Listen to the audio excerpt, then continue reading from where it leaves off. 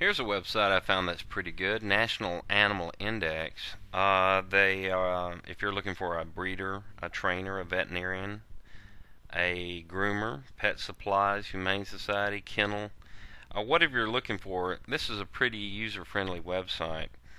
Uh, they give you a full page of text, four photos, a link to your email, and uh, also a link to your existing website. Also, they provide a map on how to get to your location, and all of this at an affordable cost.